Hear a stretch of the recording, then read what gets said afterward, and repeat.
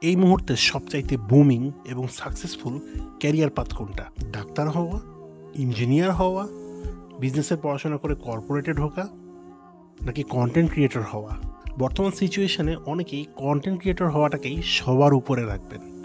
কারণ content creation করে নাকি মাসে দশ বারো লাখ টাকা ইনকাম করা যাচ্ছে? ফেসবুক আর ইউটিউবের ইনকামের টাকা দিয়ে নিজেই বাড়ি করা যাচ্ছে। সোশ্যাল মিডিয়া থেকে যে আর্নিং হয়, তা দিয়ে বাবা মাকে দামি গাড়ি গিফট করা যাচ্ছে। এইসব ধরনের পোস্ট বা ভিডিও যখন আপনার সামনে আসে, আপনি নিশ্চয়ই নিজেকে নিজে কোয়েশ্চেন করেন।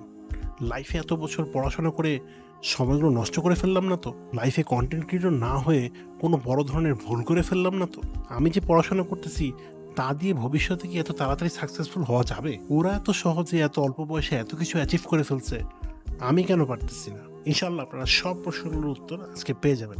সো ভিডিওটা একদম শেষ পর্যন্ত মনোযোগ দিয়ে দেখবেন। চলেন, আমরা দশ বারো বছর আগে ফিরে যাই। দুই হাজার দশ বারো চোদ্দ সাল আপনি হয়তো আশপাশে ইউটিউব বা ফেসবুক একটু চালানো মানুষজনকে দেখতে পাচ্ছেন।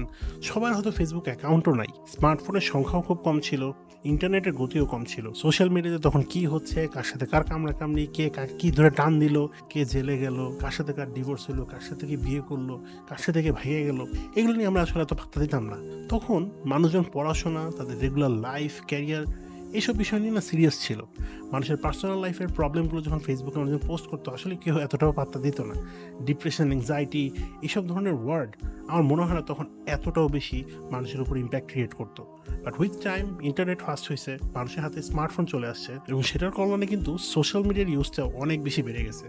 আমরা আরও মানুষজনকে চিনতে পারতেছি, অনেক হেল্পফুল জিনিসপত্র আমরা শিখতে পারতেছিলাম বাট একই সাথে এমন এমন কিছু বিষয় যুক্ত হয়ে গেছে যেগুলো আমাদের লাইফ থেকে আমরা সরাইতে পারতেছিলাম না। কোনো একজন সেলিব্রিটি এর লাইফের ঘটে যাওয়া ঘটনাগুলো আমাদের লাইফে অনেক বেশি ইম্পর্টেন্ট হয়ে গেল। আমরা হয়তো আমাদের লাইফের ইম্পর্টেন্ট কাজগুলো ফেলে রেখে ডেইলি এসব নিউজ এসব পোস্ট এসব ভিডিওর পিছনে অনেক বেশি টাইম দিয়ে ফেলতেছি। এসব বিষয়ে আমার মনে হয় না, আজ থেকে দশ পনেরো বছর আগে আমরা এতটাও কেয়ার করে দেখতাম। কারও সাকসেস স্টোরি দেখলে আমরা মনে করি তার লাইফটাই সেট আমরা সেগুলোকে লাইফে এতটাই সিরিয়াসলি নিয়ে নিই, আমরা ফিল করি আমাদের লাইফটাই সবচেয়ে খারাপ যাচ্ছে। আমাদের লাইফ থেকে আমরা সবচেয়ে পিছিয়ে আছি। ওই মানুষগুলো যারা এই পজিটিভ রেজাল্টগুলো পোস্ট করতেছে, তাদের লাইফে আসলে কোনো প্রবলেম নাই। ইউ আর কমপ্লিটলি রং কারণ তাদের লাইফেও হাজারটা প্রবলেম আছে। যেগুলো নিয়ে তারা হয়তো পোস্ট করতেছে না, যেগুলো স্টোরি তারা কখনো শেয়ার করতেছে না। তাদের লাইফে আসলে এমন এমন সিচুয়েশন হয়ে আছে, যার ব্যাপারে আপনার কোনো ধারণাই নেই। কারণ সোশ্যাল মিডিয়াতে মানুষজন তাদের সবচেয়ে বেস্ট জিনিসটাই পোস্ট করা ট্রাই করে, সবচেয়ে পজিটিভ ওয়েতেই পোস্ট করা ট্রাই করে এবং এর মধ্যে অনেক কিছু মানুষজন লুকায়। খুব কম মানুষই পাবেন যারা সোশ্যাল মিডিয়াতে ট্রুলি অনেস্ট এবং তাদের বাস্তবমুখী কথাটা শেয়ার করে। কারও দ্রুত সফলতা দেখে আপনার আসলে মন খারাপ লাগারই কথা। কারণ আপনি লাইফের অনেক বড় একটা সময় পড়াশোনার পিছনে দিয়েছেন, তারপরে চাকরি বাকরি করছেন লাইফে অনেক বড় একটা সময় স্ট্রাগল করছেন এবং লাইফে আপনি আপনার এমন একটা পয়েন্টে আছেন যেখানে আপনি অনেক কিছু করার পরেও আপনার সাকসেসফুল হওয়ার যে পয়েন্ট সেখানে হয়তো পৌঁছাতে পারেন নাই। আর তার আগেই আপনি দেখতেছেন আপনার থেকে অল্প বয়সী ছেলে বা মেয়েরা তার থেকে অনেক বেশি সাকসেসফুল পয়েন্টে আছে। এটা আপনাকে অনেক কষ্ট দিচ্ছে। বাট রিমেম্বার আপনি যদি সোশ্যাল মিডিয়ার পোস্ট ইনকাম আর মানুষজনের ল্যাভিশ লাইফ দেখে মেজার করেন তারাই সবচেয়ে সাকসেসফুল হয়ে গেছে, আমি বলব আপনার সাকসেসের যে ডেফিনেশন সেটা কমপ্লিটলি রং কোনো জিনিস শর্টকাট দিয়ে হয় না। সব কিছুর জন্য কনসিস্টেন্সি এবং সময়ের প্রয়োজন হয়। আপনি যদি এখন একজন স্টুডেন্ট হন, আপনার প্রাইমারি গোল হওয়া উচিত আপনার পড়াশোনাটাকে প্রপারলি শেষ করা। কারণ আপনি ক্যারিয়ার হিসেবে যেই লাইনে কাজ করতে চান, সেখানে আপনাকে এক্সপার্ট হতে হবে একটা সময়। যে পড়াশোনার আপনি আজকে কষ্ট করে করতেছেন, কোনো একটা জিনিস শিখতেছেন, কোনো একটা জিনিস আঁকড়ায় ধরে সেটার পিছনে সময় দিচ্ছেন লাইফে সেটা আপনার সবচেয়ে বেশি কাজে আসবে। সো আপনি যদি ভালোভাবে পড়াশোনা না করেন, ফাঁকিবাজি করেন, তাহলে হতে পারে এমন যে আপনি হয়তো একটা সময় পজিশনে পৌঁছাবেন বাট আপনি সেখানে বেশি টিকে থাকতে পারবেন না। যারা জব বা অন্যান্য ক্যারিয়ার পাথে স্ট্রাগল করতেছেন, তাদেরকে আমি বলব, ধৈর্য ধরেন কনসিস্টেন্ট থাকেন, পরিশ্রমের ব্যাপারে, কোনো কিছু শেখার ব্যাপারে কখনোই ইগনোরেন্স প্রকাশ করবেন না। প্রতিদিন নতুন কিছু শেখার মেন্টালিটি রাখেন, নিজের ক্যারিয়ার পাথকে গ্রো করার জন্য আপনার সর্বোচ্চ চেষ্টাটা করেন। না করে অন্য কারও সাকসেস দেখে মন মরা হয়ে ডিপ্রেসড হয়ে বসে থাকলে হবে না। সোশ্যাল মিডিয়ার আগেও আমাদের লাইফ বলতে একটা কিছু ছিল আনফর্চুনেটলি সোশ্যাল মিডিয়া দিয়ে আমরা এখন মানুষের লাইফের সিচুয়েশন জাজমেন্ট করার চেষ্টা করতেছি। এখন আপনাদের মনে একটা প্রশ্ন জাগতে পারে যে কন্টেন্ট ক্রিয়েটররা বিভিন্ন নিউজে তাদের সোশ্যাল মিডিয়াতে যে পোস্ট করে যে তারা এত টাকা ইনকাম করছে, নিজের টাকা বাড়ি করল গাড়ি কিনলো, এগুলো কি আসলে মিথ্যা? ওয়েল অ্যাকচুয়ালি না। কোনো একটা ফিল্ডে কোনো একজন এক্সপার্ট লোক আসলে ভালো একটা ইনকাম করার সুযোগ রাখেন। আপনি যদি চিন্তা করেন একজন কনসালটেন্ট যারা ইঞ্জিনিয়ারিংয়ে তাদের লাইফে ভালো একটা অ্যামাউন্ট অফ এক্সপিরিয়েন্স গ্যাদার করছে, তারা কিন্তু তাদের কাজের জন্য অনেক টাকা চার্জ করেন। আবার একজন ডাক্তার যে অনেক বছরের অভিজ্ঞতা এবং তার লাইফে অনেক বেশি পড়াশোনা করে ভালো উচ্চতর ডিগ্রি অর্জন করছেন, সেও কিন্তু তার কাজের জন্য অল্প টাকা চার্জ করবেন না। সো একটা সময় গিয়ে যখন মানুষের কাছে এক্সপার্টিস চলে আসে, অভিজ্ঞতা চলে আসে, সে অনুসারে কিন্তু মানুষ তাদের লাইফে তাদের কাজের জন্য সার্ভিসের জন্য চার্জ করেন। এবং one of the most important thing যেটা অনেকেই চিন্তাই করেন না সেটা হচ্ছে রিজিক। কারণ এই রিজিক জিনিসটা আল্লাহ তাল্লাহ নির্ধারণ করে দিয়েছেন বিভিন্ন মানুষের জন্য। মৃত্যুর আগ পর্যন্ত আপনার নির্ধারিত যে রিজিক, সেটা আপনি অবশ্যই পাবেন। এবং কাউকে যদি আপনি লাইফে অনেক টাকা পয়সা ইনকাম করতে দেখেন সাকসেসফুল হয়ে যেতে মনে করেন, তাহলে আমি বলব টাকা পয়সা ইজ নট দ্য অনলি রিজিক। রিজিকের অনেকগুলো ক্যাটাগরি আছে, অনেকগুলো ভাগ আছে।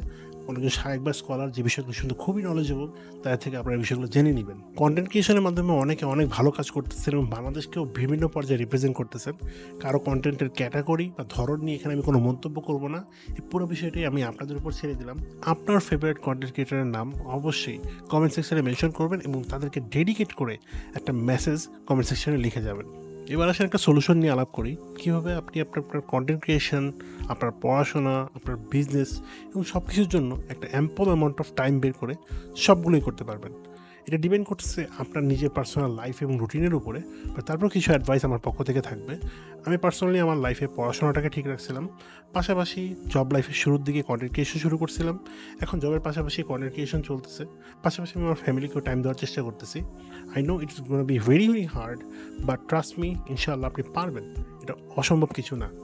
আপনার লাইফে যে টাইমটা আপনি বিভিন্ন কাজে স্পেন্ড করেন, সেখান থেকে অপটিমাইজ করে কিছু সময়, এক বা দুই ঘণ্টা দৈনিক চেষ্টা করেন কন্টেন্ট ক্রিয়েশনের পিছনে সেটা কীভাবে করে, আপনার কোন কন্টেন্ট বানানোর ইচ্ছা, সেই পিছনে আপনার প্যাশন কীভাবে কাজ করে, সেই জিনিসগুলোর দিকে ফোকাস করেন। এই কমপ্লিট ব্যালেন্সটা আপনি লাইফে কীভাবে আনবেন, আপনার চব্বিশ ঘণ্টা রুটিন থেকে কীভাবে এই সময়গুলো বের করে আনবেন, সেটা নিয়ে আমি ফিউচার একটা বড় ডিটেইল ভিডিও শেয়ার করব ইনশাল্লাহ সেই ব্যালেন্সটা আপনি যদি লাইফে অ্যাচিভ করতে পারেন, তাহলে আপনি এই সবগুলো কাজ প্যারালালি ব্যালেন্স করে করতে পারবেন। এবং আপনার লাইফে প্যাশনের যে জায়গাটা আছে, সেটাকে আপনি কাজে লাগিয়ে সুন্দরভাবে আপনার সাইড বিজনেস হিসেবে অনেক কিছু করার সুযোগ পাবেন। শেষের দিকের কিছু কথা, একটা রিসেন্ট কন্ট্রোভার্সি নিয়ে বলে শেষ করতে চাই। অলরেডি রাফসান দা ছোটো ভাইয়ের বাবা মাকে গাড়ি গিফট করার যে ইস্যু সেখান থেকে আই থিঙ্ক একটা বড় কথা সামনে চলে আসছিল। একটা জিনিস পরিষ্কার হয়েছে যে কন্টেন্ট এ আমরা যা দেখি, তার বিহাইন্ড আর অনেকগুলো গল্প লুকায় থাকে। অনেকগুলো না বলা জিনিস আটকায় রাখা হয় হিডেন রাখা হয় এবং কয়েকজনের স্ট্যাটাস এবং তার ফ্যামিলির সাথে ঋণের একটা বিষয় নিয়েও অনেক ডিটেইলে ডিসকাশন হয়েছে। আমি সব কিছু সারমর্ম নিয়ে এখানে আর কিছু নতুন করে বলতে চাই না। আই থিঙ্ক সবার কাছে কিছু স্টেটমেন্ট ক্লিয়ার আছে বাট এখন অনেক বড় একটা দায়িত্ব হোল্ড করতেছে রাফসান ছোটো বাই হিমসেলফ ওর সাথে আমার ফেব্রুয়ারি মাসে দুই হাজার বিশ একুশের সময়ের দিকে একবার দেখা হয়েছিল। I found him to be a very jolly minded person আমার কাছে কখনো মনে হয় না যে সেরকম কোনো একটা কাজ করবে।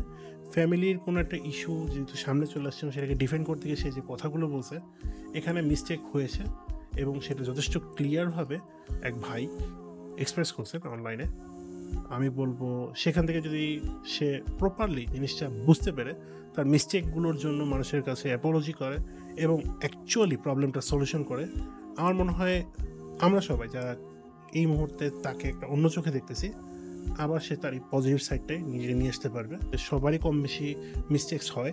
সেটা সলিউশন করার মন মানসিকতা থাকাটাই হচ্ছে সবার মধ্যে থাকা উচিত। এটুকু বলে শেষ করতে চাচ্ছি।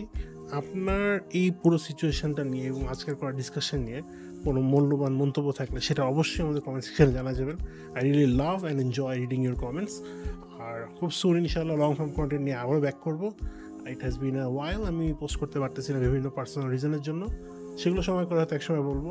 বাট ইনশাল্লাহ খুব সুন নেক্সট ভিডিওতে আপনার সাথে আবার দেখা হবে। টিল সবাই আমার জন্য দোয়া রাখবেন। আসসালামু আলাইকুম রহমতুল্লাহি বরকাতু